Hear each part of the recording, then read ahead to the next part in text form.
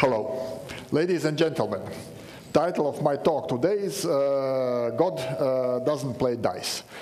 Uh, from this title, maybe you can guess that this will be something about uh, God, something about religion, actually uh, nothing in that direction. My talk today will be about uh, quantum physics, why it's interesting, why I'm passionate about quantum physics, and why I think that it should be interesting for you as well. Actually, I will start with this uh, first slide, in which you can, say, uh, can see Albert Einstein. And actually, the uh, title of my uh, talk is Quotation from Albert Einstein. And this quotation means that actually this very famous physicist who was mentioned already several times uh, today was extremely unhappy about quantum physics, despite that he got his Nobel Prize for discovery on, uh, which led to the quantum physics. Uh, on this picture, you can see Albert Einstein on the cover page of Times Magazine. Actually, this uh, Times Magazine issue was published on the uh, 31st of December, 1999. Uh, if you are paying attention to the date, it means that it was exactly on the eve of the 21st century. And Times Magazine, during the uh, year 1999, conducted a public survey, and they asked one question who was the most important personality of 20th century, who was the one single person who influenced our attitude, our thoughts about uh, 20th century most. And according to the readers of Times Magazine, it, it appeared that it was Albert Einstein. Albert Einstein was the most important person of 20th century. And still, he was very unhappy about quantum physics. You can uh, think that maybe he was a stiff person, maybe he was not open-minded enough. If you are looking at this picture, and it was taken when he was already a Nobel Prize winner, you can see that actually he was very open-minded, uh, very lively, and uh, was not hesitating to uh, express his opinion and his attitude to, to, different things. So what was wrong with quantum uh, physics? Actually, things which was wrong with quantum physics, according to Albert Einstein, are exactly the things which I am thinking are fascinating about quantum physics. These are things why I'm so uh, in love with quantum physics, why, why I am so passionate about quantum physics. And I will try to describe several of these things to you and try to convince you that it's interesting and will try to convince you that it uh, matters for uh, everybody. But when I am trying uh, to describe quantum physics, actually I'm a little bit uh, tough situation because I if I would be willing to do this professionally, I would be forced to go to these equations, which belong to one of the very famous physicists, um, uh, Erwin Schrödinger. You can see this uh, his picture on the slide. But of course, uh, we understand that it's absolutely desperate and worthless if I will try to, to go into the very basic equations of quantum physics. Actually, quantum physics is much uh, more complex complicated than uh, this one. This is, this is why I'm choosing a little bit different way. I will try to use some analogies uh, and some pictures and try to show you what's peculiar about, about quantum physics. And on this slide, you uh, can see the cover of one of the professional books about quantum mechanics. And the uh, title of this book is Quantum Paradoxes. It means that there's something paradoxical in uh, quantum physics. And actually, I would like you to uh, ask you to pay attention to the picture on the cover of this book. If you are looking at the uh, trail of this uh, skier, probably you will notice that something strange is going on there, something what you cannot imagine in the real life. In quantum mechanics, actually, this is the reality. This is what can happen in uh, quantum physics. And this is why uh, Albert Einstein was unhappy about quantum physics, and this is why many uh, people think that actually quantum physics is interesting, and quantum physics is something to worth to discuss. And what was uh, depicted on this uh, picture. Actually, in quantum physics, we call it non-locality. It means that in quantum physics, several uh, the same object can be in several places in the space at the same time.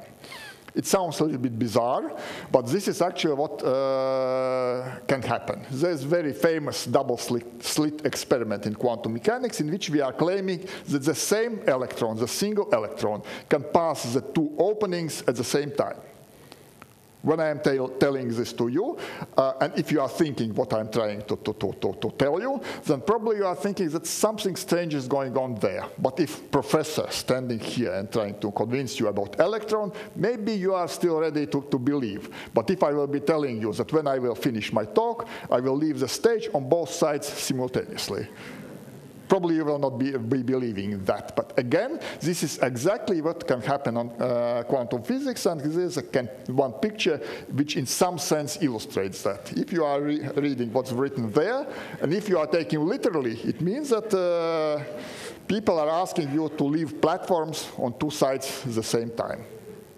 You will uh, agree that this sounds a little bit strange. Another thing which is very uh, peculiar for quantum mechanics is entanglement or notion of entanglement. And again, if we are looking in the classical picture and we assume that there is a ball, in this ball there's some dice, and dice is kind of uh, test object for me today. If you are choosing this uh, ball and dice are bouncing to each other, of course, these dice are interacting. When I am slowing, uh, throwing these dice on the table, and if I will be telling you something like that, look, there's one dice with three on top of that. And I'm looking at these dice, everything is okay, everything is fine. If I am telling you that immediately, just because I am looking on that uh, dice, the uh, stage or, or, the position of another dice is changing, that these dice are somehow interconnected, again, you will telling that something uh, wrong is going on there, it cannot be right. But again, this is exactly what's happening in quantum physics. This is one of uh, paradoxes devised by Albert Einstein when he tried to convince people that there is some problems with quantum physics uh, we call it quantum entanglement, and it means that if, for example, two quantum particles, two electrons, are on the opposite side of the universe, but these particles are entangled, we are measuring one of these electrons, and immediately, at the same time, instantaneously, the state of other electron is changed. Uh, strange? Sounds strange, but this is what really happening in uh, quantum physics. And uh, the third uh, notion of quantum physics is duality, and I am showing you the picture also of two great physicists. One of them is already mentioned, Albert Einstein, another is Niels Bohr. They discussed all their life uh, these uh, quantum paradoxes, uh, never agreed. Einstein always was trying to convince Niels Bohr that there is problems with quantum physics. Niels Bohr al always convinced uh, Albert Einstein that this is a life, this is how the universe is functioning, and we should live with that. There's nothing to do with, with uh, there's no way to change quantum physics. Simply, we should accept that this is the world in which we are living. And if I'm trying to illustrate uh, duality, I'm using a book from my, uh, my childhood. It's about uh, Buratino. Those of you who are coming from other parts of the world, maybe you, know better Pinocchio. This is the same uh, wooden puppet. And there was some um, situation. At some point, uh, Buratino got in some trouble, and his friends were not able to tell is he still alive or he's already dead. And then they invited uh, the wisest bird in the forest. Of course, it was Owl, and Owl was supposed to tell what's happened to uh, Buratino. And the decision, and uh, I see medical do doctors, they will probably agree with me. The decision was very simple. The Owl said that if uh, Buratino is alive, it's absolutely clear sign that he's not dead. If Buratino is dead, it's clear signs that Buratino is not alive. Absolutely logical statement. Actually, in quantum physics, it's opposite. In quantum physics, Buratino can be dead and alive at the same time. How it means practically, in practically we know uh, quantum duality. We know that in quantum physics, uh, some object can be particle and wave at the same time. Same time. We call it uh, quantum wave uh, duality. Again, it's absolutely uh, counterintuitive to uh, what we are used to have in our real life.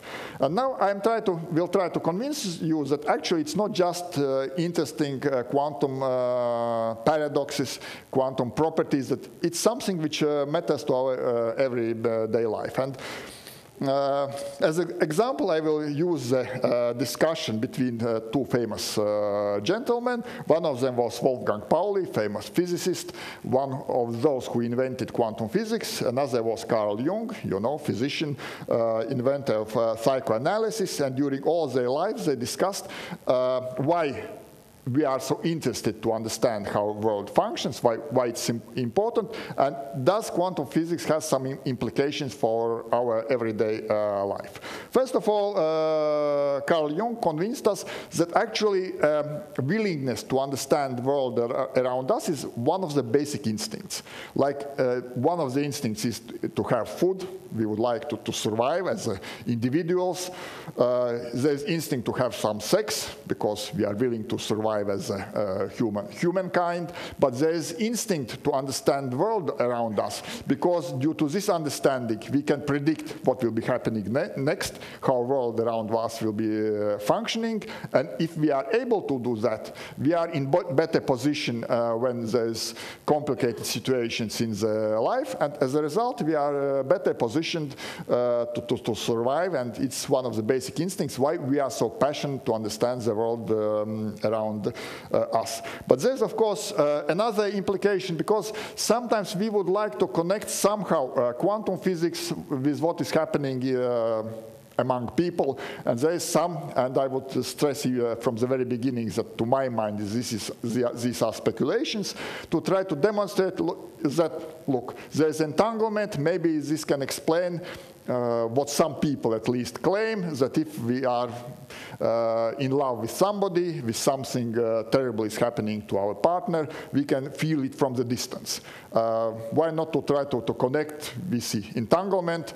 Uh, sometimes in physics we call it spooky action at the distance. Why not to try to connect this spooky action uh, at a distance with some psychological real situations or situations which we are imagining? Actually, this is a little bit risky, and actually I would claim that it's not true. And one of the uh, physicists who actually proved that it's not uh, true. And you cannot transfer ideas from quantum world directly to the macro world. And this uh, person was and is Wojciech Zurek. He is uh, here on this uh, picture. And I think this uh, general picture about uh, quantum world and classical world demonstrates that there's very uh, distinct border between classical physics and uh, quantum physics and ideas which are relevant for quantum physics and you can see this cat which is uh, alive and dead at the same time. In quantum physics we call sometimes a Schrödinger cat uh, paradox that Schrödinger cat can exist in quantum realm and, quantum, uh, and Schrödinger cat definitely and clearly cannot exist in the uh, macro world. So it's very distinct border, very uh, clear theory, mathematical uh, theory, which shows how the uh, quantum properties are losing their power when we are coming from uh, quantum properties to the classical world. And finally, I would like to conclude with some, I would say, a little bit I would call them philosophical uh, discussion, and these philosophical discussions are uh, based on the book of one very famous philosopher of, of the first part of 20th century, Oswald uh, Spengler, and his famous book, The Decline of the West, in which actually he predicted that at some point, when uh, theories which we are devising are uh, becoming so complicated that even professionals are hard to understand them. And I believe that quantum physics is something in that direction, that it's so complicated and, and some bizarre and some so strange that sometimes it's uh, not easy to convince even uh, people who are open, open-minded that this is what really happening in uh, our world. So uh, Oswald Spengler predicted if, if some civilization is approaching the stage when they are uh, devising such a strange theories, it means that this civilization going to decline. That this civilization is, uh, will not survive, that something new, new civilization will be uh, appearing.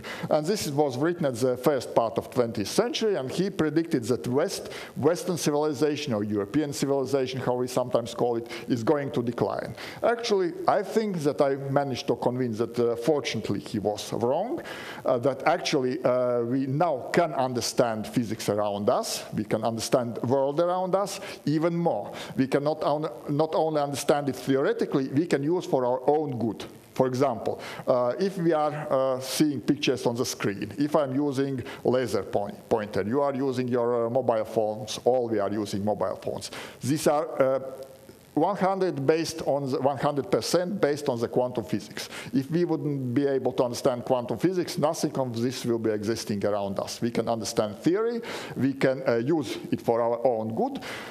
I hope that I uh, managed uh, this morning to convince you that quantum physics is uh, cool, that it's uh, good to learn a little bit more about quantum physics because 15 or 20 minutes it's not enough to tell everything about uh, quantum uh, physics. So I hope that this uh, slide means that the end is indeed happy end and this professor with his blackboard on which if you are looking carefully you can see some quantum mechanical expressions managed to convince you that quantum uh, mechanics is really interesting. Thank you very much.